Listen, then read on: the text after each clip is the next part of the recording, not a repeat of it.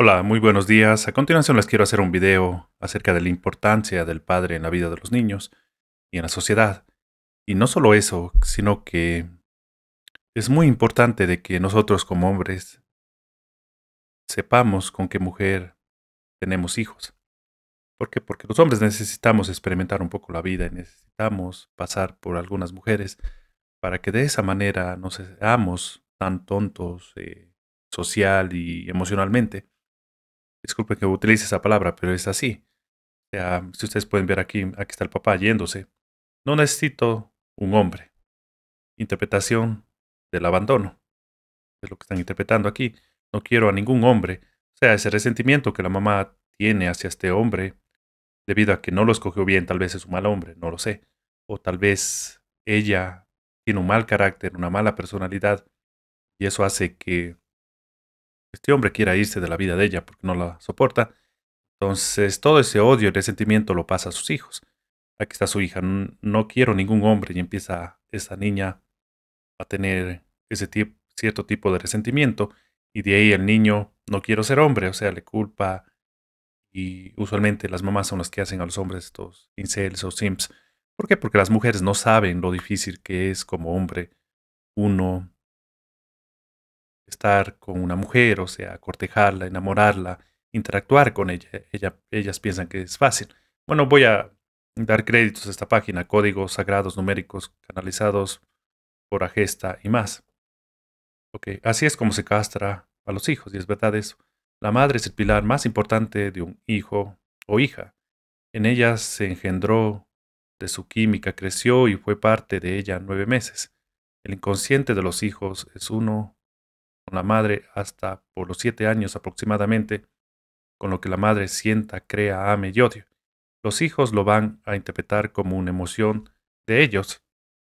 Es decir, van a asimilar tanto emocional como físicamente todo lo que su madre genere. No por ser chiquitos no entienden, al contrario, entienden muchísimo por estar conectados a su madre. Si la madre trae conflictos con su padre, atraerá a un hombre que la maltrate, ofenda y abandone, como ese padre con el que tiene conflicto. No se da cuenta que sus elecciones no son libres, sino que están determinadas por lo que trae en su inconsciente. En este caso, por el odio que tiene su padre. Este odio hacia la figura masculina lo transmitirá directo a sus hijos por tener el inconsciente compartido. Todo ese odio que haya contra de la figura masculina sus hijos tomarán partido total. La hija odiará a lo masculino y el hijo odiará a lo masculino. La hija se convertirá en mujer luchona, guerrera, madre soltera con historias de hombres que abandonan hombres, que abandonan hombres sin dinero, hombres ausentes que no podrán desarrollar su feminidad por intentar llenar un lugar masculino. Se creerá madre y padre convirtiéndose así en una madre ausente. Todo lo que sea masculino será odiado y destruido. Muy lamentable, porque atrayendo lo mismo es lo que confirmará lo que le enseñó su madre. Se creerá madre y padre, bueno, eso ya leí. El hijo se sentirá un fracasado en todos los sentidos. No tendrá dinero, no encontrará trabajo, nada se le dará. Emprenderá, pero todo fracasará. Vivirá siempre con sus padres en casa de los suegros. Tendrá por parejas mujeres que odien lo masculino pasivo no podrá ser un padre presente, dado que él no resuena como masculino. Encaja súper bien con mujeres mandonas y controladoras. No tendrán que mantener económicamente y sexualmente muy apagado. La importancia de una madre es el destino de sus hijos. Sanando, liberamos a nuestros hijos de patrones heredados. Bert Hellinger es verdad.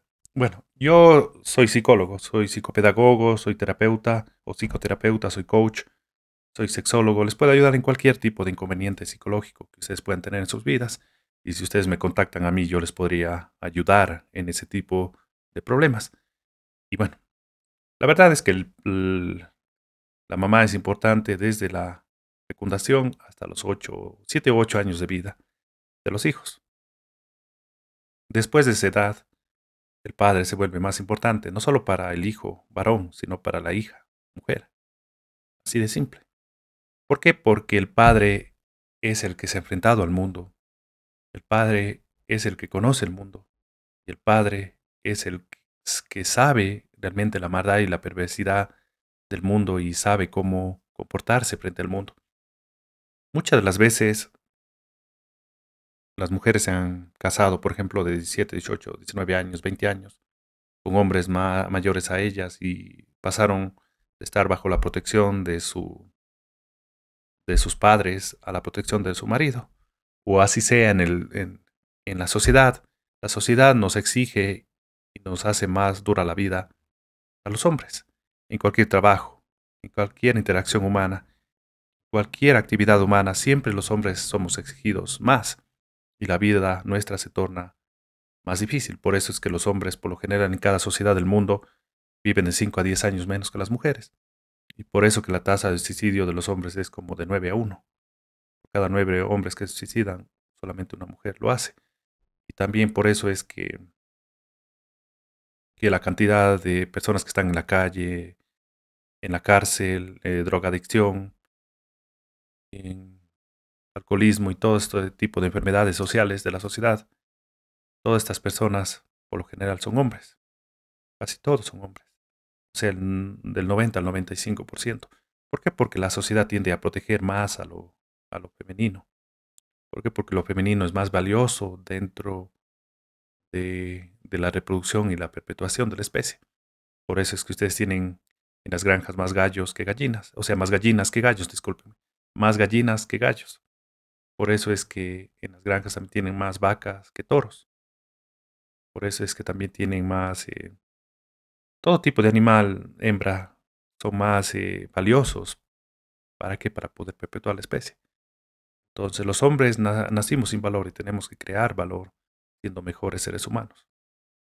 Y las mujeres nacen con valor, pero ese valor se va perdiendo cuando ellas son demasiadamente promiscuas es que es así, ellas tienen un tesoro al nacer, que es la, o sea, su, su vagina y la posibilidad de dar, dar vida, de que un bebé salga por ahí y de poder engendrar un hijo, de poder eh, gestar un hijo ahí en su, su, su barriga, en su útero, mejor dicho, su vientre.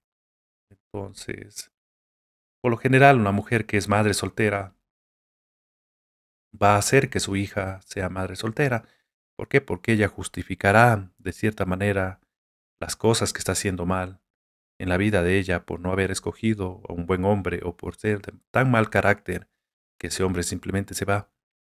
Lo va a justificar culpándolo todo ese hombre. El ser humano tiende a culpar siempre a los demás de los problemas de su vida. No le gusta hacerse responsable. Por eso es que los políticos tienen tanto poder.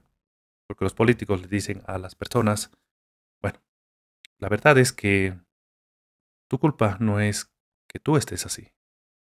La culpa es del otro, de esa etnia, de esa sociedad, de ese grupo de individuos. Por eso ha ocurrido genocidios y todo esto. Ya saben historia de los nazis, de los bolcheviques, de, de Mao en China. Ha ocurrido cientos de veces durante la humanidad estos problemas. Entonces, tú como mujer, primeramente tienes que escoger un buen hombre porque la mujer tiene el poder. ¿Y cómo puedes escoger a un buen hombre recibiendo terapia?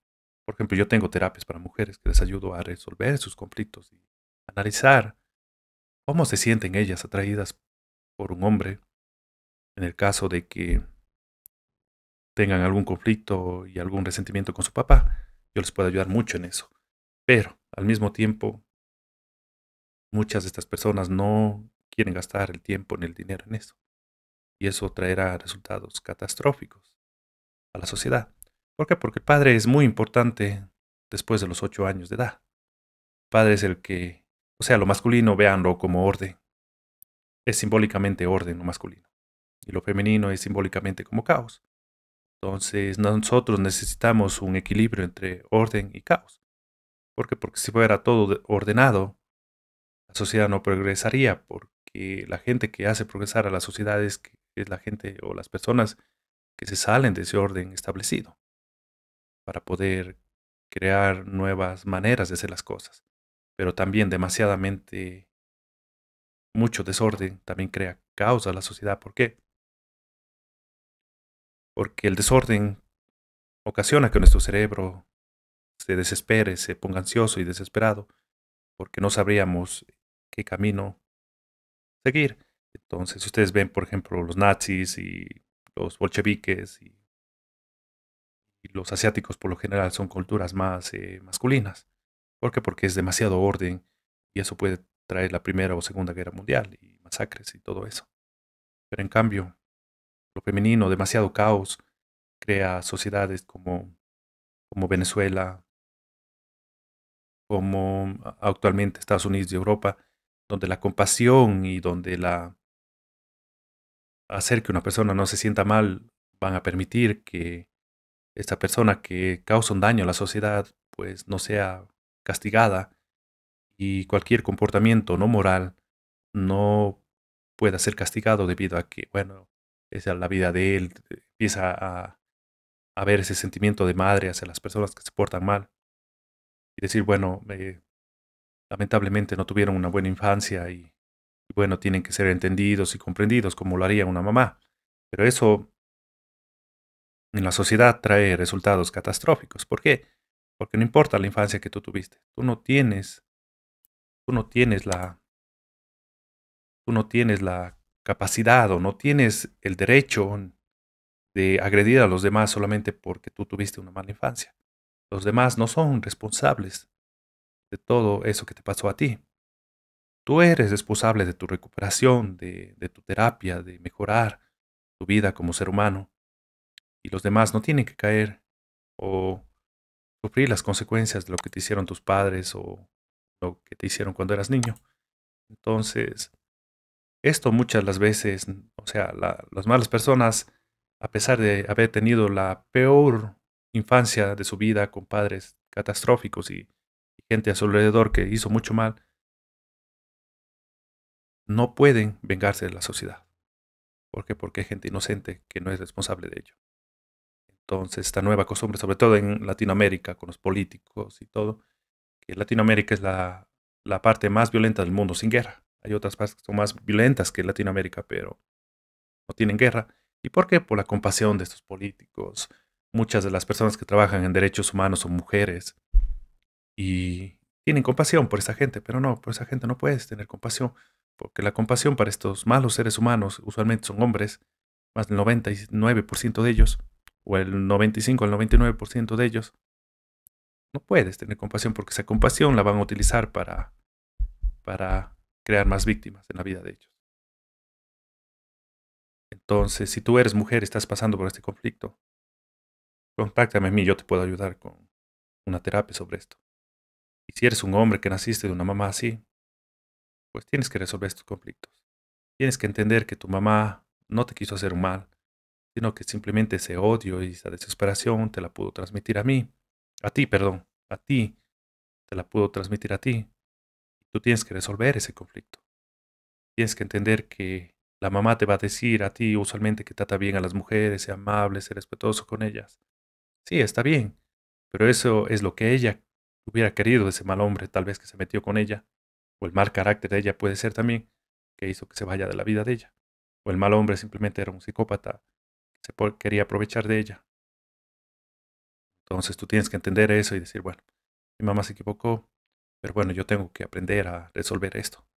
Y ahí es cuando viene tu masculinidad y tu hombría y dices, bueno, la verdad es que estoy haciendo malas cosas. Entonces necesito aprender del tema. Necesito saber que todo eso que me dijo mi mamá, que hay que portarse bien con las mujeres, tratarlas bien, hay que hacerlo con todo el mundo siempre y cuando esas personas también nos ofrezcan de regreso o de vuelta lo mismo.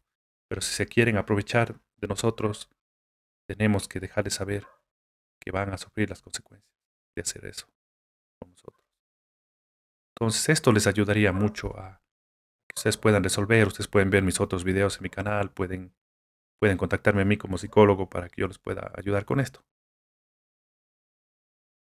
Y si eres una chica que está pasando por esto, que tu mamá te infundió un odio hacia tu padre y hacia lo masculino, pues eh, tienes que recibir terapia. Tienes que entender que un hombre alfa masculino que es conveniente para ti, se va a ir de tu vida. No va a tolerar eso. Y un hombre femenino que va a ser tu voluntad no te va a gustar a ti, no te vas a sentir mujer y te vas a sentir enojada, frustrada y peor. Entonces, todos esos conflictos se pueden resolver con terapia. Obviamente que yo les puedo ayudar a ustedes con cualquier tipo de terapia. Entonces, si ustedes eh, pueden irse por mi, por mi perfil de, de Facebook, tengo en LinkedIn, tengo mi número de WhatsApp, el 593-9607-60671. Puedo ayudar con consultas.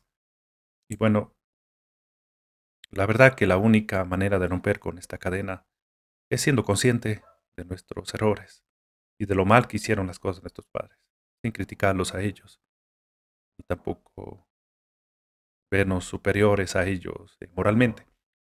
Fueron otras épocas, otras eh, décadas, otra realidad de la vida y ellos se preocupaban simplemente por sobrevivir. No tienen la información ni tampoco la, la previsión de recursos como tenemos nosotros actualmente por el capitalismo. Entonces, o sea, con culpar y enojarte con los demás no solucionas absolutamente nada. Siempre hay que hacerse responsable de todo lo que nos pasa en nuestra vida. Así no sea culpa nuestra.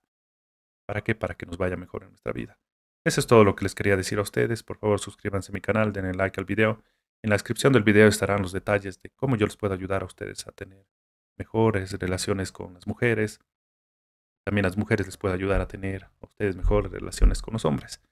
Yo doy terapia de polaridad, perdón, terapia de polaridad sexual. Y es la terapia que funciona de mejor manera a nivel mundial. Todo esto puedo ayudar yo con una videoconsulta, ya sea por WhatsApp, eh, video, una videollamada de WhatsApp o por Google Meet. También les puedo ayudar. En cualquier parte del mundo yo recibo pagos por una aplicación móvil que se llama Payphone. También por PayPal, pero PayPal les, les un recargo de 10 dólares y Payphone solamente un recargo de 5 dólares. Y, eso es todo lo que, si están en el Ecuador y me pueden hacer una transferencia bancaria, no les cobraría ni ni un recargo. Eso es todo lo que les quería decir y que pasen una buena tarde.